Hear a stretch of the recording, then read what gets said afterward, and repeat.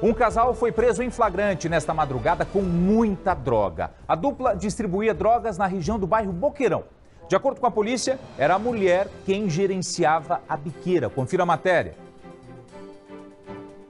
Nesta viatura, policiais militares do 20 Batalhão passavam pelo bairro Boqueirão, na região sul de Curitiba, entre a noite e a madrugada. E apesar da chuva, uma mulher estava do lado de fora de um veículo Gol de cor verde e ela mexia em alguns objetos.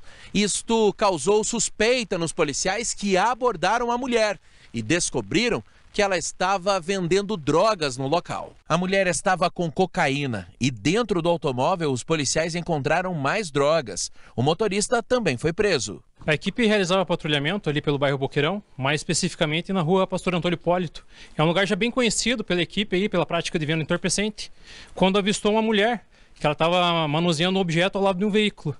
É, ao perceber a viatura caracterizada, ela acabou caminhando mais rápido, se esquivando uma possível abordagem. Sendo abordada na sequência, foi localizado com a mesma 33 pinos de substância análoga à cocaína. A equipe fez buscas próximo do veículo onde ela estava, foi localizado um pote e dentro desse pote foi localizado 500 reais em dinheiro trocado. Segundo a PM, a mulher era quem gerenciava a venda de drogas. Os presos confessaram o crime. A mulher confessou a prática da traficância no local e falou que estaria vendendo entorpecente. Já o homem falou que ele que repo... fazia reposição do entorpecente que estava na pista para venda. Os dois foram levados até a delegacia e já contavam com passagens pela polícia.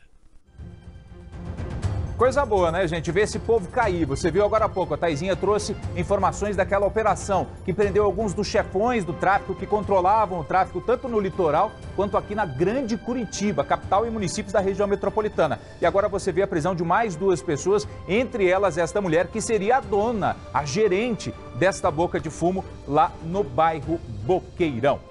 Por falar na Taizinha, teve pé na porta.